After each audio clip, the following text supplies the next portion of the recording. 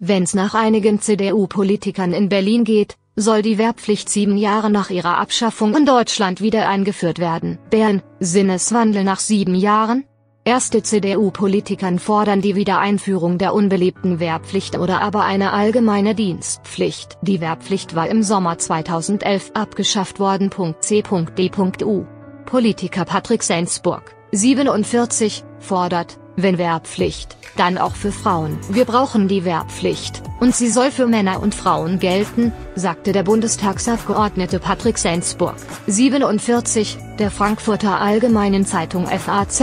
Es solle ein verpflichtetendes Jahr eines Dienstes geben, und wer nicht zur Bundeswehr geht, kann es anderswo ableisten, ergänzte Sensburg der auch Oberstleutnant der Reserve ist. Angesichts einer unsicheren Weltlage sei die Wehrpflicht für die ureigene Aufgabe einer Armee, die Verteidigung des eigenen Landes unabdingbar. Die Wehrpflicht war zum 1. Juli 2011 unter Ex-Verteidigungsminister Karl Theodor zu Guttenberg, 46, CSU, abgeschafft worden. Seitdem ist die Bundeswehr eine Freiwilligenarmee.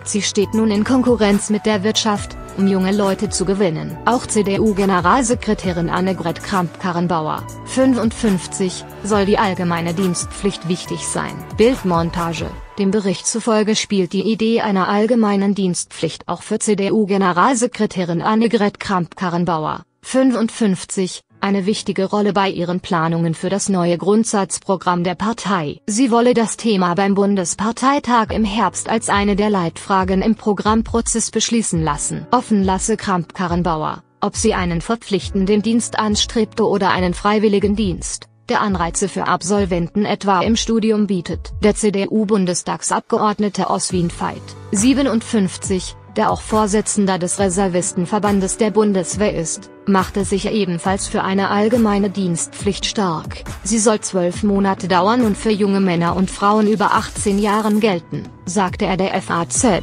Die Wahlmöglichkeiten für den Dienst sollten von der Bundeswehr über das Technische Hilfswerk bis zu Diensten in der Gesundheitsversorgung und der Pflege gelten und ordentlich besoldet werden. Und auch GroKo-Partner SPD scheint einem Bundeswehr-Comeback nicht abgeneigt. Wir müssen eine gesellschaftliche Debatte darüber führen, ob wir auf dem heutigen Weg, die Bundeswehr möglichst attraktiv zu machen, tatsächlich die Personalzahlen erreichen, die wir für die Landes- und Bündnisverteidigung brauchen, erklärte Verteidigungspolitiker Fritz Felgentreu, 49, der FAZ. Um die Personalnot in der Truppe zu bekämpfen wurde zuletzt auch der Vorschlag laut, EU-Ausländer in der Bundeswehr aufzunehmen und ihnen dafür den deutschen Pass zu geben. Tag 24 berichtete.